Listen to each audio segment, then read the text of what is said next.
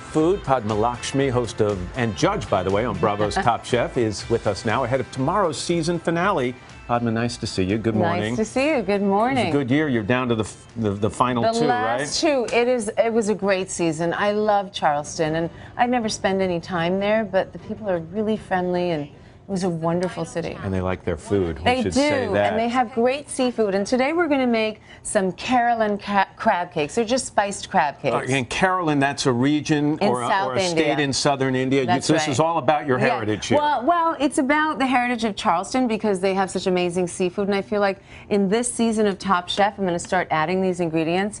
You know, there wasn't one episode where somebody didn't use crab, so I'm using crab, making regular crab cakes, which is putting a couple of extra ingredients.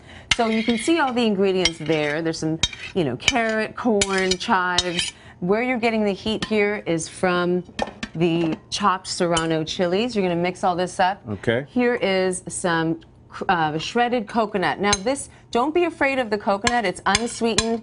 You can find it at any grocery store in the freezer section or in the baking section. Make sure it's unsweetened. How do you keep this together? Good question. We're going to add, I want you to keep mixing that for me This? with that. Yeah. Okay. So you want to uh, put some mayonnaise. Here's a couple of eggs for about a pound of crab. Um, you also just want to add a little bit of milk if you need it, um, probably about a quarter cup or half cup. You want to mix this all up, little pinch of salt.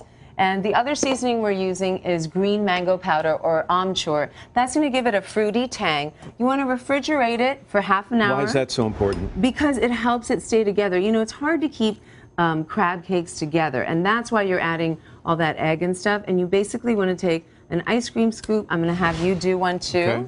and you're going to flatten this. Again, you do this after you've chilled it, and you can even make these patties ahead so that when you're cooking the crab cakes, they're all ready to go. But also, like with a hamburger, you don't want to compress these too much and much. make them too dense. Right, and then you just want to dredge them in um, some breadcrumbs. That's so that you get that extra crispy crust. Now, another tip I have is that you want to use two spatulas so that you don't splatter the oil. So you're just going to lay these. We're using canola oil, idea. And um, you can also test and see if the oil is hot enough by just dropping a little kernel of corn, and if that sizzles like the crab cakes will, you know you're you're ready. That'll take about five or six minutes, not more. And here's our dipping sauce. It's a really easy dipping sauce. It's made with mint. Thank you. Mm-hmm. You're welcome. Some mint, lemon juice, salt, pep- salt, sugar, and and chili peppers. Let me just mention we've got our guys. Whoa! Be that careful. little corn kernel. We have That's a popcorn. corn kernel. I'm Perfect. gonna turn this We've got our guys downstairs that. What testing happened? this.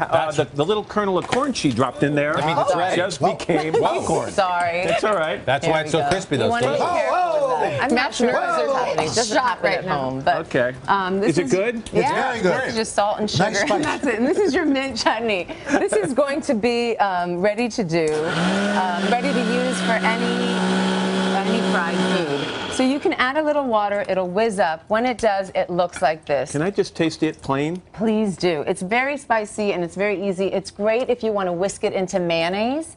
And really um, I'm going to let you taste this, and I'm going to put some sauce right here for you. All right, let me get a fork.